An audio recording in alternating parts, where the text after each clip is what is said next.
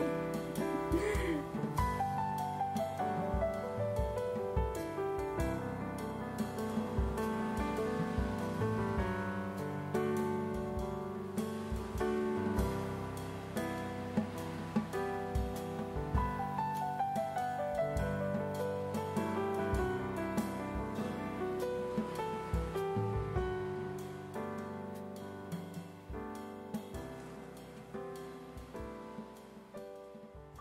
Everyone, I hope this video is finding you well.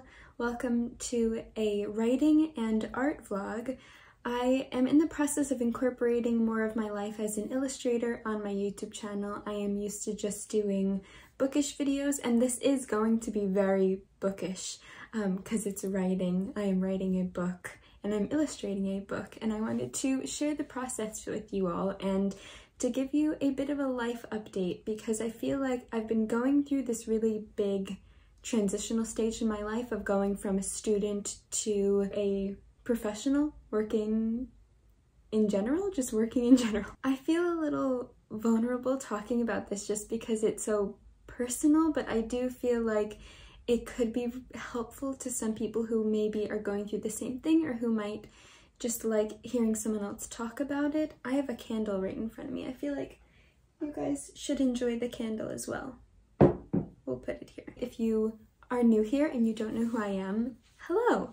My name is Carolyn and I am an illustrator and a writer. I graduated this past spring from college from university. I went to the Fashion Institute of Technology in New York City and I got my major in illustration and my minor in writing. For the past few years, and when I graduated, I had this idea that I wanted to work for a publisher. I wanted to work in a publishing house on an art team, and that's what I wanted to do. And and now um, I'm sort of questioning, questioning what I want to do and and where do I want to work and what do I want to put out into the world and what do what do I want to make my life about pretty much and those are huge those are huge questions to ask yourself and I think that that's why I want to talk about it because it's it's a topic that I think is so important and it's so important to to do what you love because that has always been my number one priority. Illustration has always been the thing that was like the center of myself. And so when I was about seven years old,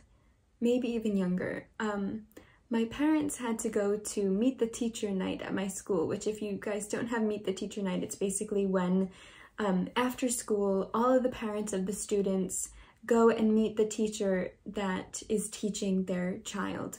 So my grandparents came over and they were watching my sister and I. I was drawing from one of my favorite children's books, Caps for Sale. I had the Caps for Sale book out to my left and then to my right I was drawing on orange construction paper I was copying the illustration from the children's book and that's the moment that I realized I wanted to be an illustrator and I wanted to be an artist and that's what I loved doing. Um, and I remember I remember that so vividly and my whole life has kind of been surrounding drawing and art and especially drawing from books and the great influence that picture books and children's books and books in general have had on my life. And so now it's coming full circle really. And anyway, so I've been looking into finding finding jobs in a publishing company. I don't think that that's what I want to do.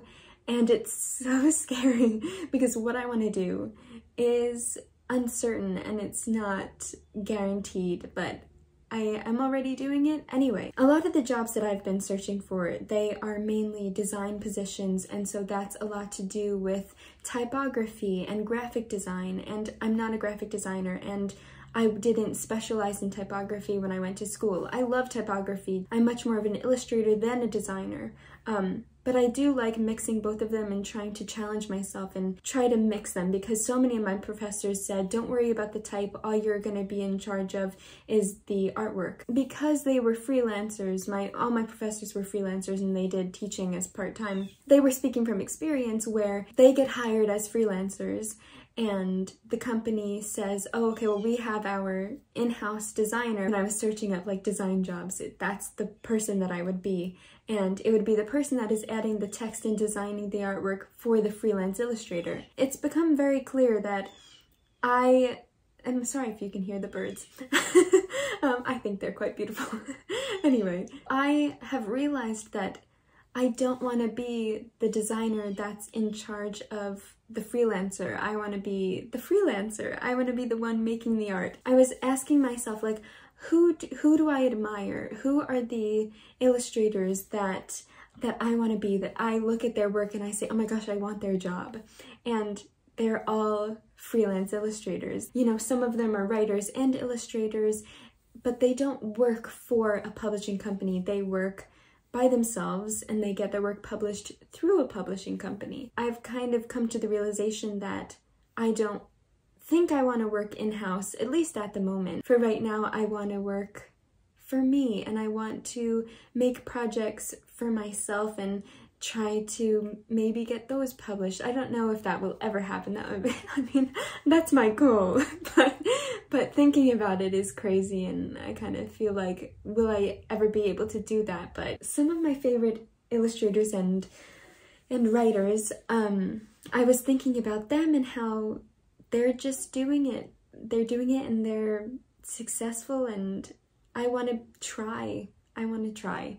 My main point that I want to talk about is just it's so important to ask yourself really what you want to do and what will make you happy. And even if it's not the norm, um, that's okay. If that's if that's what you want to do and that's your dream, then go for it, no matter what it is, whether it's art related or writing related or not. And there's not a second that goes by during the day that I'm not thinking about a story or the book that I'm reading or a story that I want to write or a story that I want to illustrate or a book cover design that I have. Last night, I, out of nowhere, I was like, I really want to crochet a sweater. And, and that's just how my brain works, I guess. But there's not a moment that goes by that I'm not creating in my brain. Um and so i feel like that's that's what i'm meant to do. And it's so important to ask yourself what do you think you're meant to do? And to do to do that and to do all that you can to make that happen and to make that possible for yourself. And I think the thing that I'm struggling with is I'm at that stage in my life where so many people are asking me, Oh, so what are you doing now that you graduated? Are you looking for jobs? Are you interviewing? Are you going to start working somewhere? And it's so hard because, like, I already am working and I have a hard time like sticking up for myself if it's not a traditional like oh I go and I work for a company and all those things that come with a normal job it's just hard to explain that a lot of people are so supportive I have so many people in my life that I can't imagine not having them in my life because they're so supportive and they want me to do what I love and and I just have a great support system and I am so thankful for that and you guys are a wonderful support system for me too. Anyway, I'm sorry, I don't want to ramble on too long, but I just I wanted to get a little more personal and to talk about these things that I think are such big parts of life. It's good to just get another person's perspective because when I hear other people talk about these topics, it makes me feel better. So I hope that this is resonating with you in some way and that you're going to like the changes that are coming to this channel. I'm so excited to show you more of my artwork because even though I am a reader, that's only one small part of myself. I'm an artist mainly. That's that's who I am. I'm an illustrator and and I'm a creator and that's what I that's what I love about uh, that sounds so silly. That's what I love about me, but that's that's who I am um, at my core. And all of my artwork is is surrounding literature and is inspired by books, inspired by stories. And you know, I got my minor in writing, and I'm so passionate about the writing process. And right now, I am I'm working on a on a children's story, and that I'm going to be illustrating and writing myself. And I've had this idea for a while and it's now finally coming and turning into something um, and I'm just right now I'm naming my characters um, and I, I have a perspective working title and I have an idea and I'm really excited to share the process of, of doing this with you guys. I thought it would be really interesting to see how a freelance illustrator works and I have an idea in my head for a book and I'm going to document the process of making it and writing it and so that's what this vlog is. It is going to be me introducing a book idea to you and introducing some characters and some some fun projects that I'm going to be working on for me. and that's just so exciting. And for and for you, for for whoever maybe reads the book someday. Oh, I'm just so excited. Uh, all of these things are really scary because even though I feel so good at like being a freelancer and feeling like I can do it, um, it's still really, really frightening. But I think the best things in life are scary and exciting. Um, and that's what this is. So fingers crossed that it's one of the best things. My plan for today, I've been, like I said, working on naming my characters. The main heart and soul of any story, I think, is the characters. And when I have characters, then the whole story kind of falls into place. And the main thing about me is I need names. I name almost everything. Uh, my reading chair has a name. His name is Oliver. The planter that looks like a sculpture, her name is Natasha, after um, Natasha Rostov, Rostova from War and Peace. I name everything because I think names give life and names give character and personality and names give a voice and I can't I can't have a character without a name. So the first thing that I am doing for this story, I, I had the idea and then, so step one, have an idea. Step two, form it into something tangible. And for me, that is characters and naming the characters. And I have an idea that it's going to be all animals. It's going to be a world of animals, but they are going to be anthropomorphic, which means that they act like humans and they have human qualities. And this video is probably going to be going up after my Red Rabbit painting process and drawing process of Lewis Carroll, which I just did two days ago. So here is my Lewis Carroll author portrait and I love how he turned out and I am so excited for you guys to see that video. Yes, yeah, so today I'm just going to be continuing to work on naming my characters and kind of having them form into something more than just animals with names. I draw a lot of people because I do my author portraits and that's all people. One of my favorite things to do is draw animals and especially working on editing my Red Rabbit painting for Lewis Carroll and Alice in Wonderland. I love, I love painting animals. I love painting and drawing animals and especially bunnies. There's there's something about rabbits and bunnies that I just can't can't not draw them. Which I think that's a bit of Beatrix Potter in me. I'm just going to take you guys along um, on this journey with me and I hope you're excited because I am so excited. I don't know if you could tell I'm in this I'm in this stage of like oh but but that's life. Anyway, I feel like we're all a little uh all the time. Um so yes, okay, I'm gonna stop talking. It's just this whenever I start talking I can't stop. But we're gonna keep working.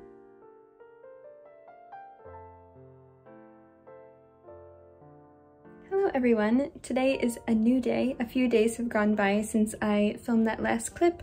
Um, I am going to be going to the art store and to Barnes & Noble, but first I have to drop off some Etsy orders to the post office, but I thought I would take you guys along with me because I have to get um, some art supplies and also I'm looking into getting some books that have something to do with the inspiration for my children's story. So let's get going.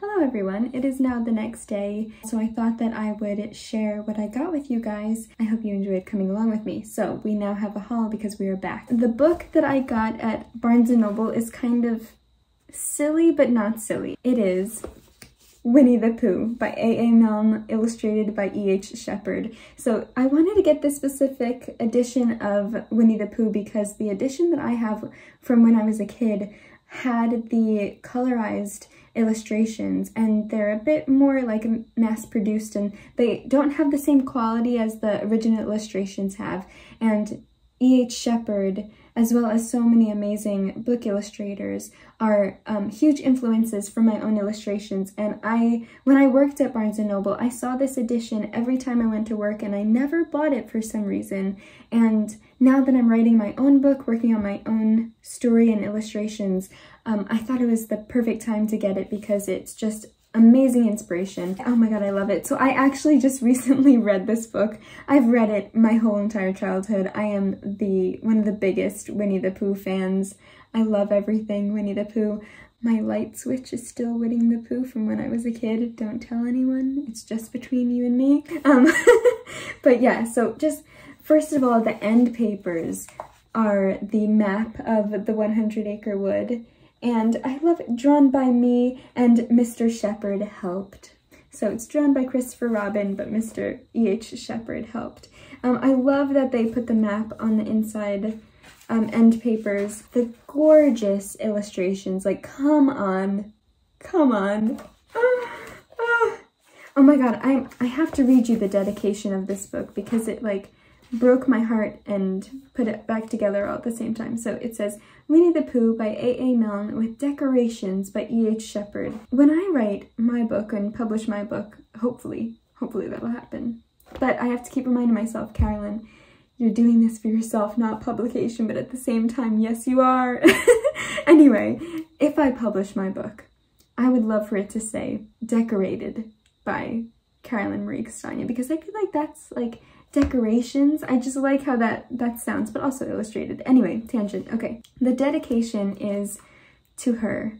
Hand in hand we come, Christopher Robin and I, to lay this book in your lap. Say you're surprised, say you like it, say it's just what you wanted, because it's yours, because we love you. Ah. So that's A.A. Milne's dedication to his wife from he and Christopher Robin. There's also an amazing audiobook of this book that I've been listening to as well as physically reading it. And it has sound effects and it has like wind noises and rain and bees buzzing and like popping sounds and echoes and it has like all of the sound effects that you would expect from um, from all of the scenes. I'll put a picture of what it looks like right here in case you guys are interested. Um, I love Winnie the Pooh books. I've been in kind of a reading rut and Winnie the Pooh definitely helped me get out of it. It's kind of weird, this process of like figuring out my story and what I want to do it's like my life is kind of coming together in weird ways, like things that I did as a kid affecting my writing process and affecting how I want to tell the story and my passions as a kid too. It's like the same. I, growing up, I had a bunch of different animals as pets. I had a tortoise, I had a mouse, I had frogs, I had a dog, a bird. I had so many animals because I just loved animals. And another one of my big inspirations is Beatrix Potter. And I wanted to get a Beatrix Potter book while I was at the bookstore yesterday, but they didn't have the one in that I wanted, so I'll have to get that online. She had a lot of pets growing up too, and I was always trying to convince my parents, can I can I get a bunny? Can I get a turtle? Can I get... I didn't get a bunny. I wish I could have had a bunny, but I did have a tortoise, a turtle. His name was Prince.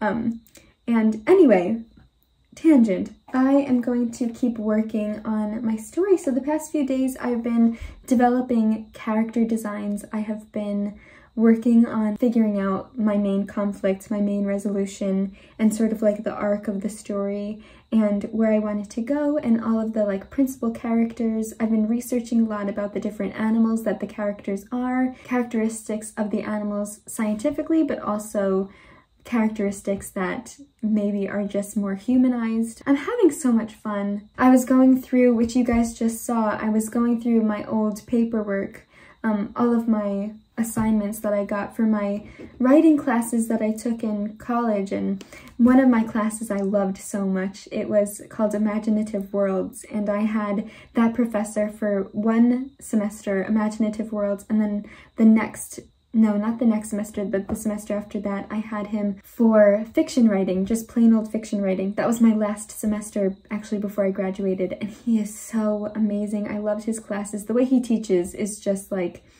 Robin Williams in Dead Poet Society, but a little more toned down.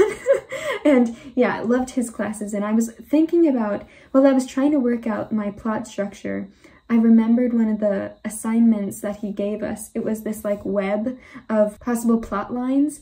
And so you like start from one point and then you break off and it's like, okay, two possibilities. And then you break off two more possibilities off of those possibilities and brainstorming technique of trying to figure out which what choices you want to make in your in your storyline and I found it just now and I'm so excited but earlier today I did make my own version of that which I will just show you guys really quickly. I don't want to share too much about my story and my characters just yet because I don't know how much I want to share just in general. I started writing it out. I have a text document on Google Drive that I've been working on the writing of the manuscript another form of just brainstorming like throwing down my ideas and then I started I was typing it all out and then I really wanted to handwrite it because I'm working on my iPad and then text do you know using text documents on the computer I wanted to write it down with my hand. So I was using Procreate. Can you even see it?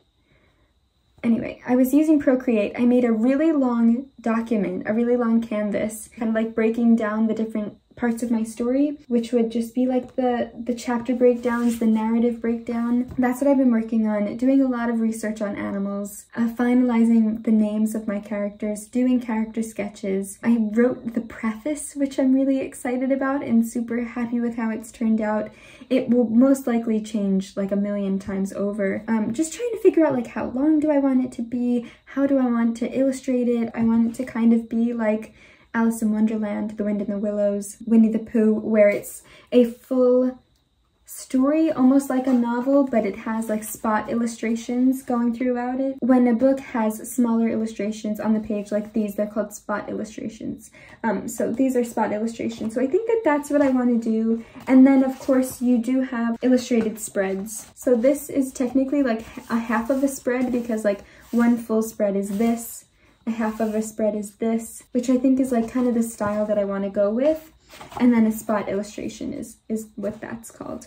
Also the, the Little Prince as well. So there are so many of my favorite books that I really love their, their stories and almost novels, but they have illustrations throughout. I know Matt Haig does that too with his books. Um, his Christmas series, he just came out with a new book in that series as well, and it's illustrated by Chris Mould, who I love his work too. Um, so many inspirations, so much that I have in my brain that I just like can't wait to put down. I'm just so excited. So anyway, I've been rambling for way too long. I feel like this video is just like introducing the fact that I'm writing a book and I'm illustrating a book and I want to take you guys along on the journey with me. Follow your heart, follow your dreams because ever since I was a kid, ever since I made that first illustration drawing from that children's book Caps for Sale that I was telling you about.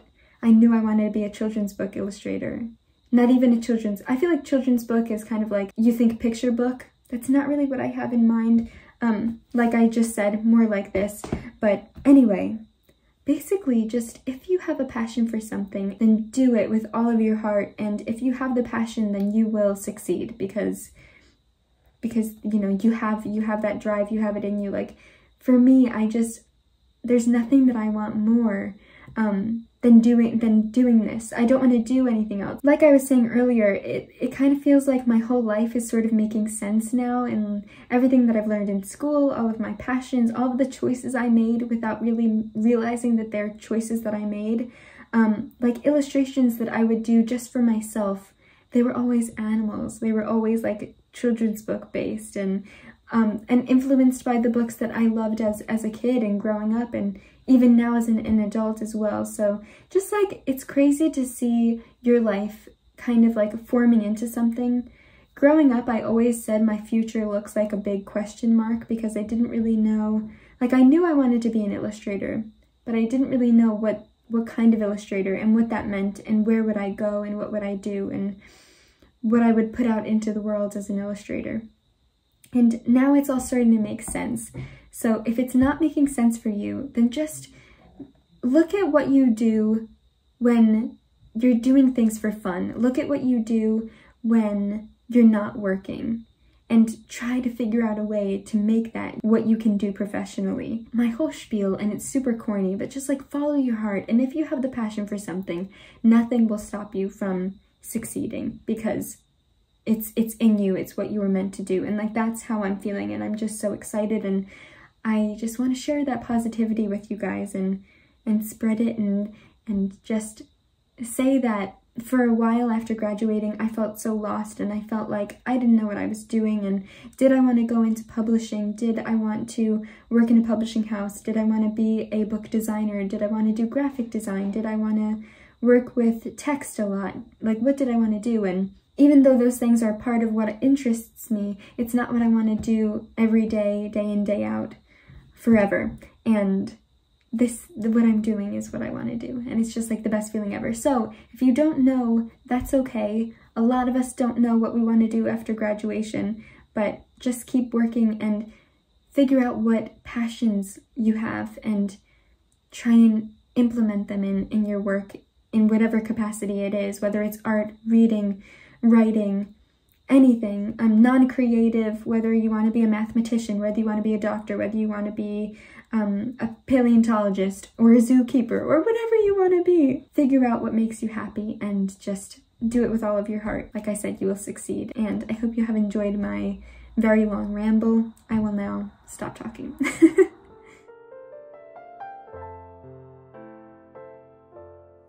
Hello everyone. It is now October 27th. I haven't filmed anything for the past two weeks, and there is a specific reason for that. And she is on my lap right now. She just got up from her nap, but I I have a special a special guest. I have a special someone to introduce you to. And here she is. Say hello. Hi, Willow. This is Willow. This is my beautiful new puppy. Oops, she sneezed. Are you, do you have to sneeze? Are you okay? She is a mix of a Cavalier King Charles Spaniel and a Cocker Spaniel, and she is almost 12 weeks old now. She was born on August 7th, and we got her, we were planning on getting a Cavalier for months and months and months, Oh, someone's sleepy. We have been trying to get a dog for months and months and months, and I was contacting a bunch of reputable breeders from my area and from farther away, and we were having a lot of trouble finding finding one because the wait lists were so long. It was just a really really long process and I was kind of losing hope. And anyway it just so happened that we we found Willow and she came into our lives at the perfect time but it was also very unexpected. It happened very suddenly. One day we didn't have her. The next day we were going to get her and it wasn't planned at all. And it was just spur of the moment even though we were prepping to get a dog already. Um so that is why I haven't been filming for this vlog, why I haven't been really filming at all. And because being a new dog mom, so I am, um, she's our family dog. I am really her primary caretaker. My parents also watch her as well, and same with my sister when my sister comes over. Um, but I am her, I am really her mommy.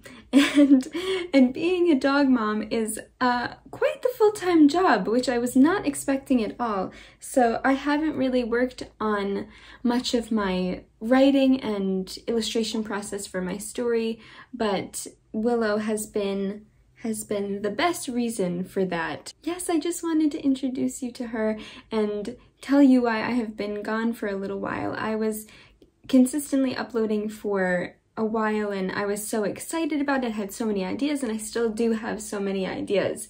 Um, but she, she's taking up all of my time. Look at that face. Look at that face. We have to forgive her for taking up my time. Um, but yes, her so we got her on October 14th. October 14th is my grandmother's birthday. My grandmother unfortunately passed away this past January, and so that was her first birthday that we couldn't celebrate with her. Hello. Um, and she is, her name was Marie, and she is the one that I'm named after, Carolyn Marie.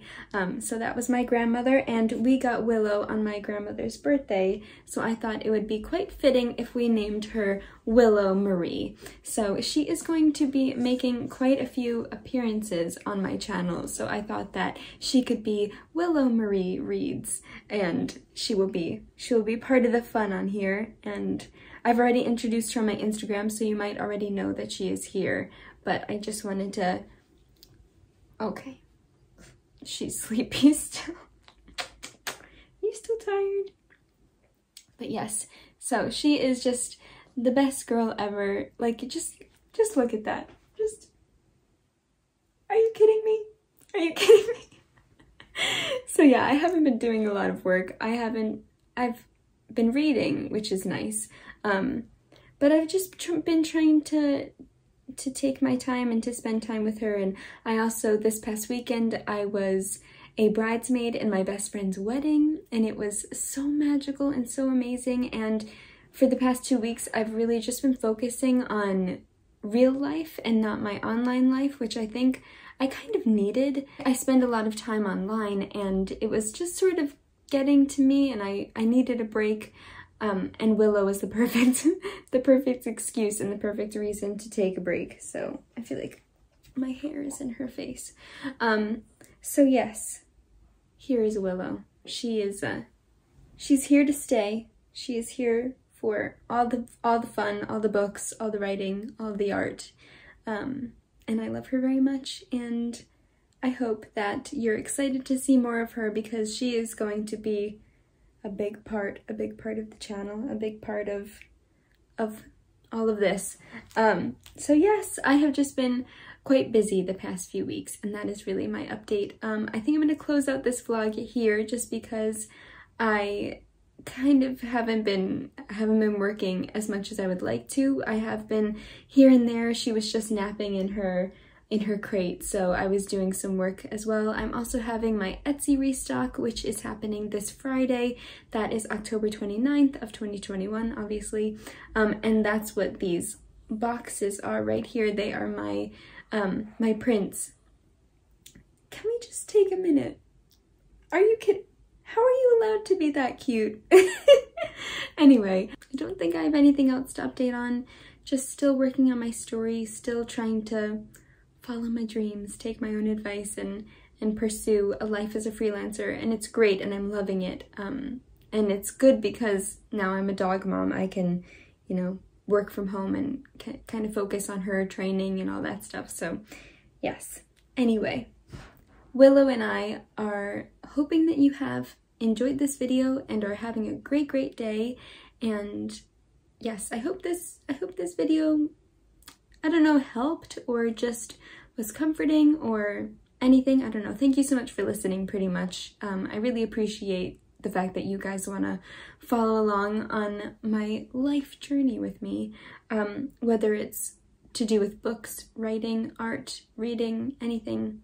Um, I appreciate it very much and I care about all of you very much. So yes, thank you so, so much for watching. Willow Marie and Carolyn Marie. Uh, we'll see you next time. So happy writing, happy reading, and happy creating. And now we have a very energetic Willow because she just had her lunch. so she doesn't sleep all the time. Is that your turtle?